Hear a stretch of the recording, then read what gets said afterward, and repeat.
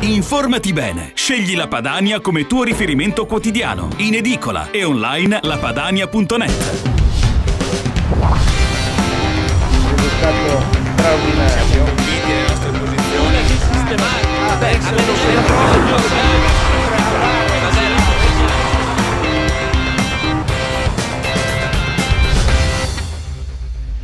chiediamo, beh, intanto la moratoria che è già stata votata in Senato di un anno e poi chiediamo che sia posto un termine drastico a questa proliferazione selvaggia del gioco d'azzardo che crea grossi introiti per lo, per lo Stato ma grossi problemi anche di sicurezza e di salute pubblica eh, a carico soprattutto dei sindaci, delle eh, comunità locali che devono farsi carico appunto di questi veri e propri drammi sociali legati alla ludopatia.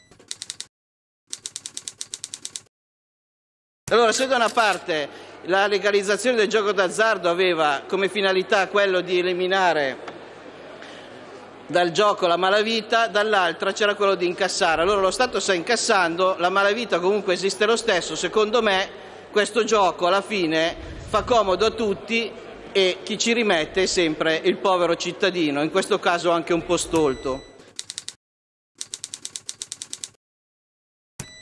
Dovere del governo tutelare quel sistema di garanzia che si fonda sul rispetto dei principi e dei valori di un paese civile. I sacrifici richiesti ai cittadini devono trovare risposta negli investimenti costruttivi volti a salvaguardare le strutture fondamentali della società, in primo luogo quindi la famiglia. Il gioco d'azzardo è ormai considerato la maggior causa di ricorso a debito o ad usura, o purtroppo molto spesso ad entrambi.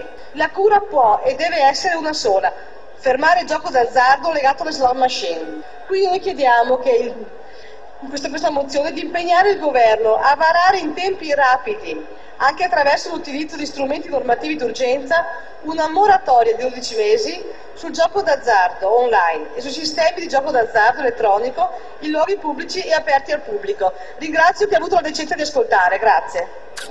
15 milioni di giocatori abituali, 3 milioni a rischio patologico, 800 mila giocatori già patologici. Chiediamo al Senato di far vedere che la politica può ancora avere un significato nel Paese e che non soggiace agli interessi economici. Su questo si vedrà la vera coerenza di questo Senato e dei senatori che qui siedono, con il mandato popolare ricevuto. Qui si vedrà l'ipocrisia e noi saremo coerenti col mandato che abbiamo avuto la nostra gente, perché difendiamo gli interessi a partire dalle famiglie più deboli. Informati bene. Scegli la Padania come tuo riferimento quotidiano. In edicola e online lapadania.net.